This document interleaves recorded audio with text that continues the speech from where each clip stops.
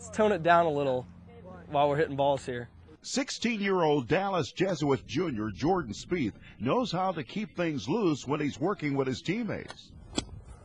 Over the weekend, the reigning U.S. Junior Amateur Champion tightened things up to finish fifth. It was my first big amateur event that I'd ever played in, so um, you know it's it's a little different than the junior events. Better competition, better courses. Um, um, it was really an unbelievable experience. And he played against his idol, Cowboys quarterback slash golfer Tony Romo. When I was uh, told that I was going to be paired with him and, and then staying with him, um, you know, it, it really just kind of blew me away at first. And someone asked me what kind of pointers I gave Tony um, while we were playing for the first two rounds. And I said I didn't give him anything. He gave me advice every single day, um, not necessarily about golf, but, um, you know, just the experiences that he's gone through to be, you know, one of the best that he is at his sport. But Jordan is one of the best at his sport, having accepted an exemption to play in the HP Byron Nelson Championship in May. I mean, I've always wanted to play in a PGA Tour event, and and um, just in general, and the fact that my first one could be in